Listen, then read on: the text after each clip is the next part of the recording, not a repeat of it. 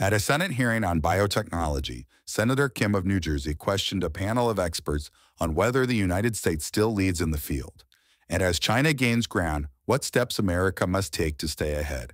Watch the exchange unfold right here. So right now, you can say definitively we are the We are in the lead leading today. country. What about in 10 to 20 years from now? Can you make that same definitive statement? No, not at all. In fact, it's a lot sooner than that. If you look at the National Security Commission report on emerging biotechnology, they have 49 recommendations to strengthen, maintain, and advance our lead in biotechnology.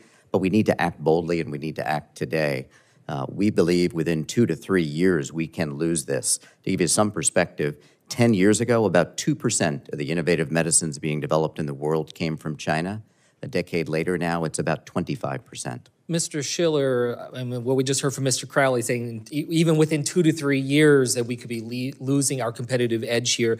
I, I really think that the the key here is not just what are the steps that are going to move us forward, but for us as a committee and as a country to embrace the urgency of this moment. I guess I want to ask you: Are we operating with the level of urgency as a nation, as a government, as an industry that we should be at this point? Senator, thank you. I, I don't think we are. And I think there's more we can be doing to uh, try to ensure that the regulatory system, the ecosystem, allows for uh, faster trials getting off the ground in the United States so that less of that research is moving out to other countries. Mr. Macauer, you know, you talked about, Dr. Macauer, you talked about this in terms of the challenges that we're facing, whether it's about reviewers and turnover on that front, uh, or just resources writ large. Uh, I guess I want to ask you in terms of the FDA, does the FDA have the resources and the staffing needed right now to be able to meet this urgency that we've been talking about in terms of our global lead on biotech? Thank you for the, the question, Senator. we could do much better. Um, we absolutely should be refilling vacancies one to one.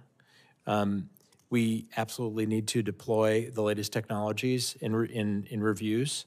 Um, most importantly, to be competitive, we need to reinforce and deeply invest in our U.S. scientific and clinical infrastructure. Uh, that, science, that science has propelled innovation in this country, and it's absolutely important.